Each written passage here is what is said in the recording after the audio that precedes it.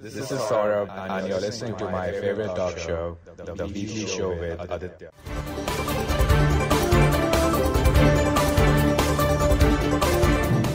Thanks to pseudo media, we now live in a world of hashtags. You want to protest about something, hashtag this. You want to support something, hashtag that and so on and so forth. The hashtag nonsense along with tweeting, retweeting or any other such pseudo media discussion continues despite knowing the fact that it is the biggest headache that humanity has ever had to face over the past 15 years. But pseudo media is not the only headache that has become part of humanity over the past 200 days. Another headache has become a part of humanity. There's pseudo media and now there's the pseudo virus. This world of hashtag amuses me.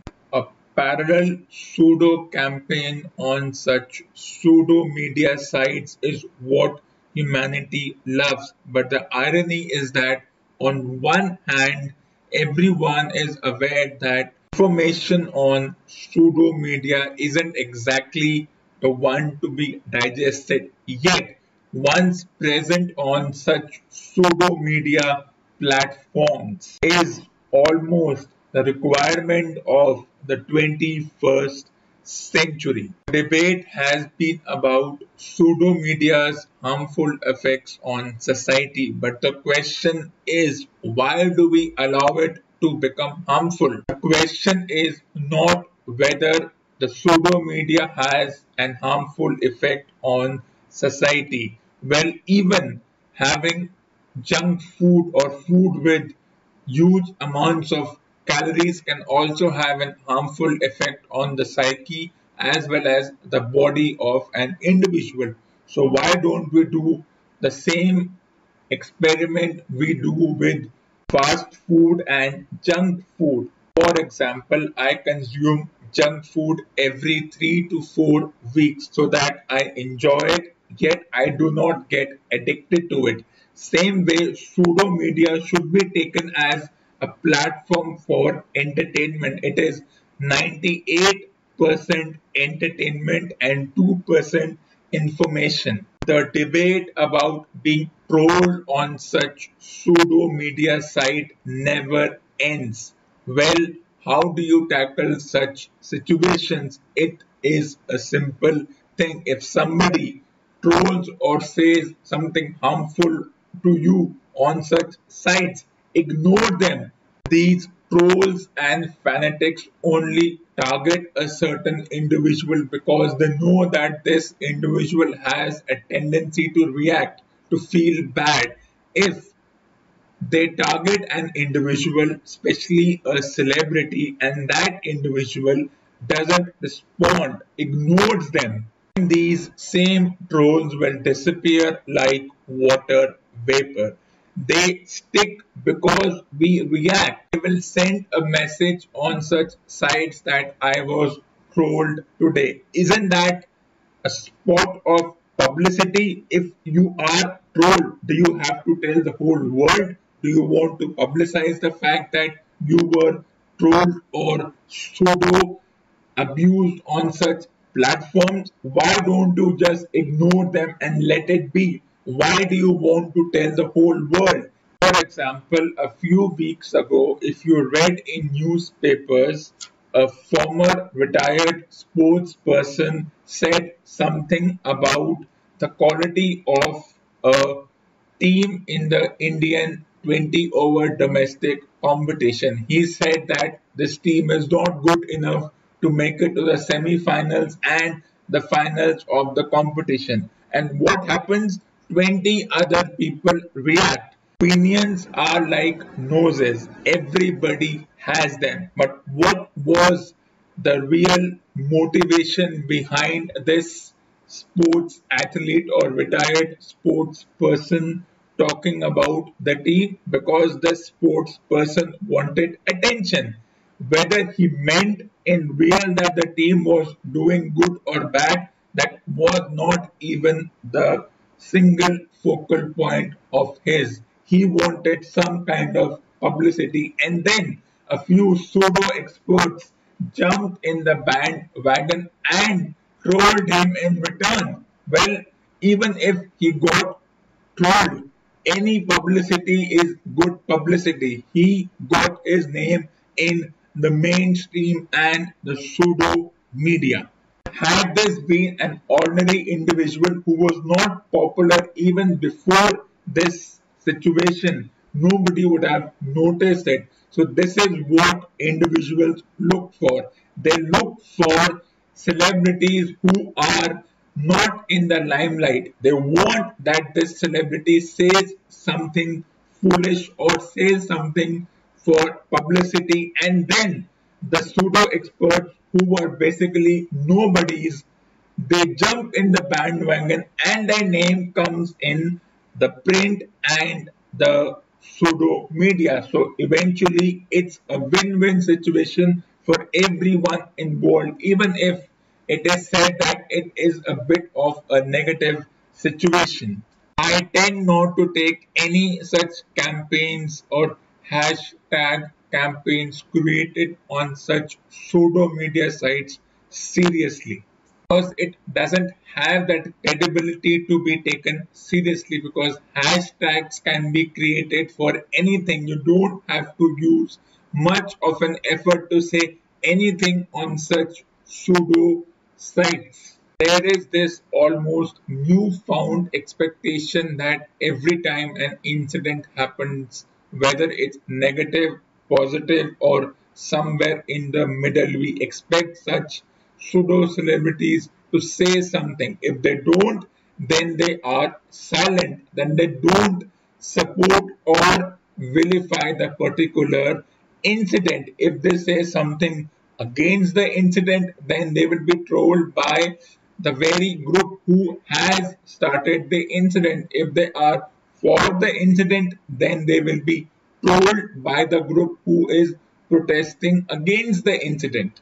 And the most hilarious part is that the actions of such pseudo celebrities is taken as a gold standard of what should be done just like any other media, whether it's print, electronic, pseudo media is a choice. One doesn't need to have a pseudo media account or read things on pseudo media sites just because it's a requirement of the 21st century. Because if individuals still get hurt by what is being said on such pseudo media or any such sites. And despite the claims of being surrounded by technology, it is a universal truth that human beings are still primitive in nature because they have this tendency to argue about the pettiest of things. And there is a big difference between arguing about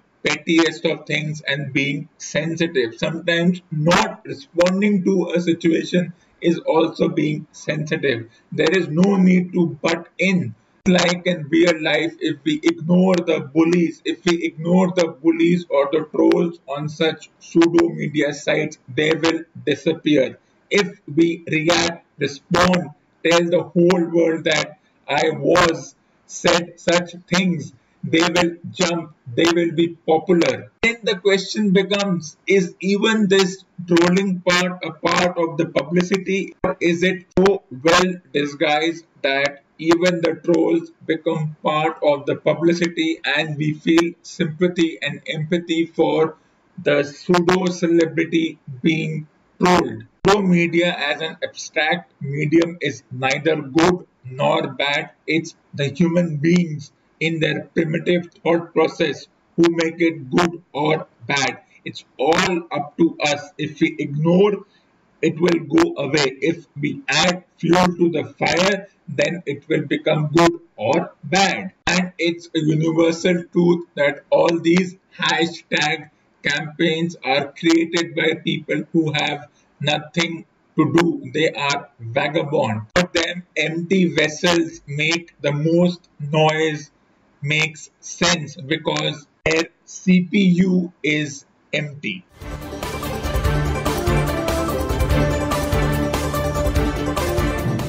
The Labors of Hercules, Chapter 1. I am a plain man, Monsieur Poirot, said Sir Joseph Higgin. Hercule Poirot made a non-committal gesture with his right hand. It expressed, if you choose to take it so, admiration for the solid worth of Sir Joseph's career and an appreciation of his modesty in so describing himself. It could have also conveyed a graceful deprecation of the statement.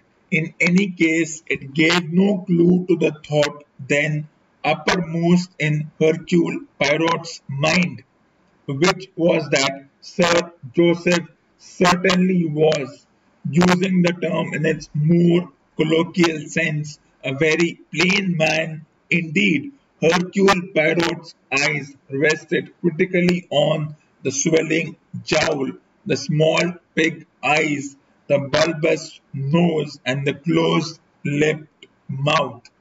The whole general effect reminded him of someone or something, but for the moment he could not recollect who or what it was. A memory stirred dimly a long time ago in Belgium something surely to do with soap. Sir Joseph was continuing. No frills about me. I don't beat about the bush. Most people, Mr. Poirot, would let this business go. Write it off as a bad debt and forget about it. But that's not Joseph Higgins' way. I am a rich man, and in a manner of speaking, two hundred pounds is neither here nor there to me. Poirot interpolated swiftly. I congratulate you. Huh? Sir Joseph paused a minute. His small eyes narrowed themselves still more. He said sharply, That's not to say that I am in the habit of throwing my money about what I want I pay for, but I pay the market price, no more. Hercule Poirot said, You realize that my fees are high? Yes, yes, but this, Sir Joseph looked at him cunningly, is a very small matter. Hercule Poirot shrugged his shoulders. He said, I do not bargain. I am an expert. For the services of an expert, you have to pay. Sir Joseph said frankly, I know you are a tip-top man at this sort of thing. I made inquiries and I was told that you were the best man available. I mean to get to the bottom of this business and I don't grudge the expense. That's why I got you to come here.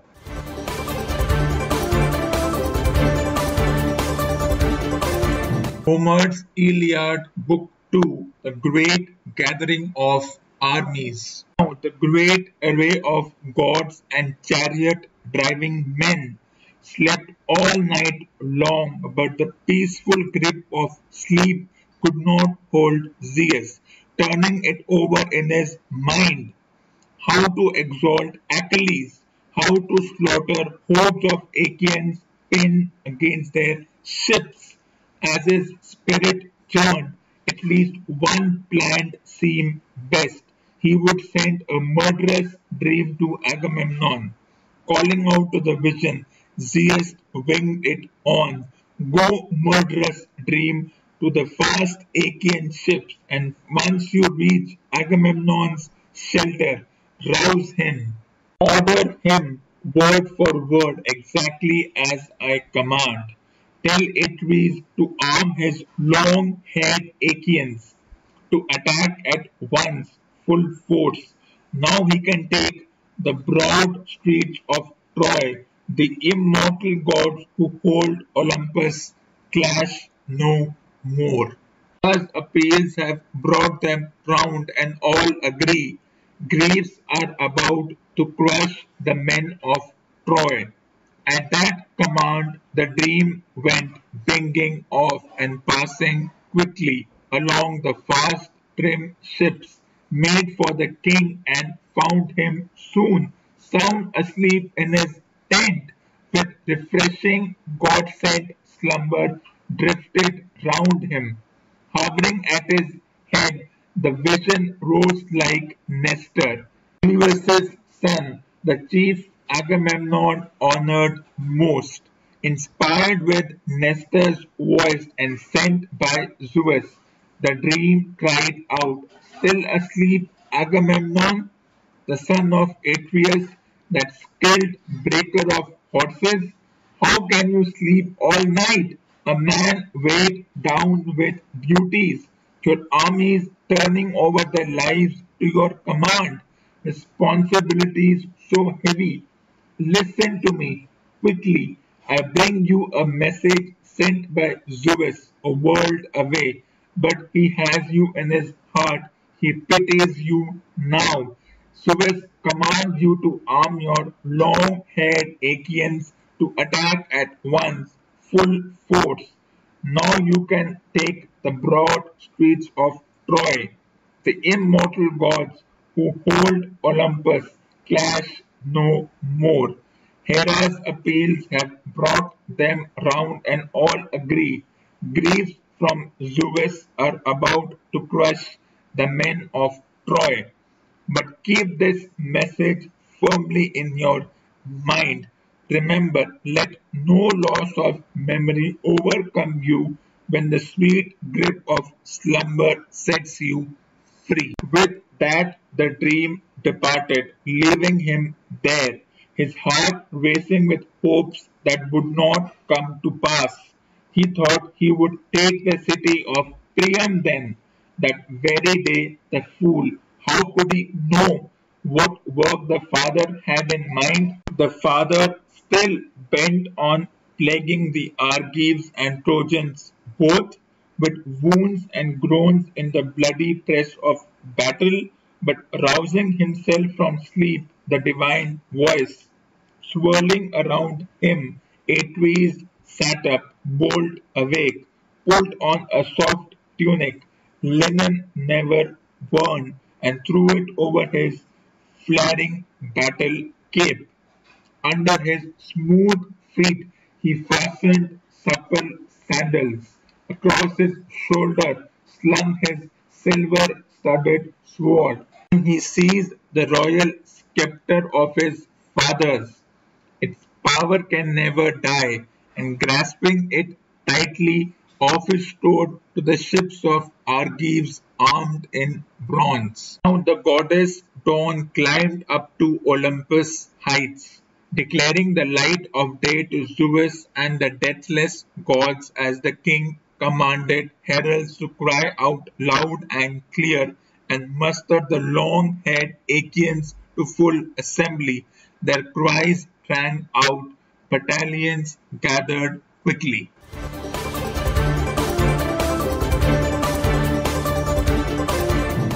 P.G. Wodehouse, stiff upper lip Jeeves. How long I remained motionless like a ventriloquist dummy whose ventriloquist has gone off to the local and left it sitting, I cannot say. Probably not so very long for when life returned to the rigid limbs and I legged it for the open spaces to try and find Gussie and warn him of this V-shaped depression which was coming his way. Spode was still in sight. He was disappearing in a nor nor northeasterly direction. So, not wanting to hobnob with him again while he was in this what you might call difficult mood, I pushed off south southwest and found that I couldn't have set my course more shrewdly. There was a sort of yew alley or rhododendron walk or some such thing confronting me, and as I entered it, I saw Gussie. He was standing in a kind of trance, and his fat headedness in standing when he ought to have been running like a rabbit smote me like a blow and lent an extra emphasis to the hoy with which I accosted him. And as I approached him, I noted that he seemed even more braced than when last seen. The eyes behind the horn rimmed spectacles gleamed with a brighter light and a smile wreathed his lips. He looked like a fish that's just learned that its rich uncle in Australia has pecked out and left a packet. Ah, Bertie, he said, we decided to go for a walk, not a row. Thought it might be a little chilly on the water. What a beautiful evening, Bertie, is it not? I couldn't see eye to eye with him there. It strikes you as that, doesn't it? It doesn't me. He seemed surprised. In what respect do you not find it up to sample? Tell you in what respect I do not find it up to sample. All this I hear about you and Emerald Stoker. Did you kiss her? The soul's awakening expression on his face became intensified. Before my revolted eyes, Augustus Fink Nottle definitely smirked. Bertie, I did, and I'll do it again if it's the last thing I do. What a girl, Bertie. So kind, so sympathetic. She's my idea of a thoroughly womanly woman, and you don't see many of them around these days. I hadn't time when I was in your room to tell you about what happened at the school treat. He told me, he said Bartholomew hit you, and how right he was. The bounder bit me to the bone, and do you know what Emerald Stoker did? Not only did she coo over me like a mother comforting a favorite child, but she bathed and bandaged my lacerated leg. She was a ministering angel, the nearest thing to Florence Nightingale you could hope to find. It was shortly after she had done the swabbing and bandaging that I kissed her. You shouldn't have kissed her. Again he showed surprise. He had thought he said a pretty sound idea but you are engaged to Madeline. I had hoped with these words to start his conscience working on all 12 cylinders, but something seemed to have gone wrong with the machinery, for he remained as calm and unmoved as the fish on ice he so closely resembled. Madeline, he said. I was about to touch on Madeline Shall I tell you what's wrong with Madeline Bassett? No heart. That's where she slips up. Lovely to look at, but nothing here, he said, tapping the left side of his chest. Do you know how she reacted to that serious flesh wound of mine? She espoused Bartholomew's cause. She said the whole thing was my fault. She accused me of having teased the little blister. In short, she behaved like a louse. How different from Emerald Stoker. Do you know what Emerald Stoker did? You told me. I mean, in addition to binding up my wounds, she went straight off to the kitchen and cut me a package of sandwiches. I have them here, said Gussie, exhibiting a large parcel and eyeing it reverently. Ham, he added in a voice that throbbed with emotion. She made them for me with her own hands, and I thought it was her thoughtfulness even more than her divine sympathy that showed me that she was the only girl in the world for me the scales fell from my eyes and I saw that what I had once felt for Madeline had been just a boyish infatuation.